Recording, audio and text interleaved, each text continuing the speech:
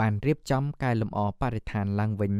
ដែលដឹកនាំអនុវត្តផ្ទាល់ដោយព្រះអង្គគ្រូសច្ចរកតោសិនសុជុំលោកគ្រូសូត្រស្ដាំវត្តប្រាសាទស្រកណាស់ចាស់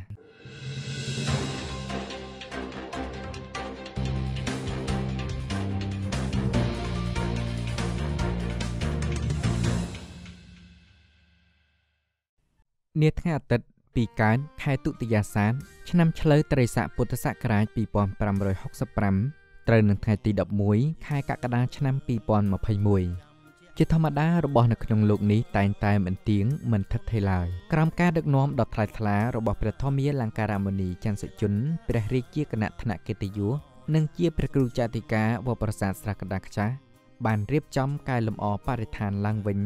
ដែលដឹកនាំអនុវត្តផ្ទាល់ដោយព្រះអង្គគ្រូសច្ចរកតោសិនសុជុំលោកគ្រូសូត្រស្ដាំវត្តប្រាសាទស្រះកណ្ដាស់ចាស់ ជាជំហានដំបូងក្នុងការកែលម្អនោះ គឺបានជួសជុលលាបថ្នាំឡើងវិញ នៅតាមបណ្ដោយសួននីមួយៗនេះគឺជាសកម្មភាពថ្មីមួយទៀតសម្រាប់វត្តដែលតែងតែយកចិត្តទុកដាក់ចំពោះការថែរក្សាបរិស្ថាន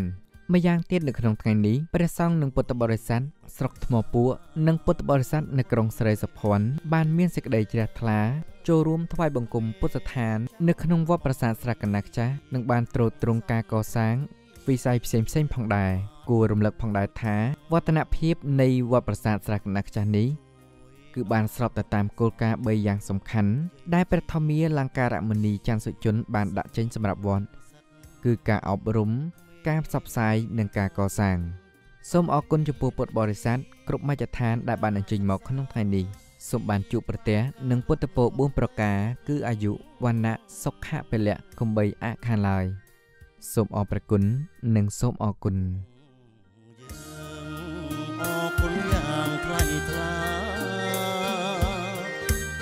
រគុ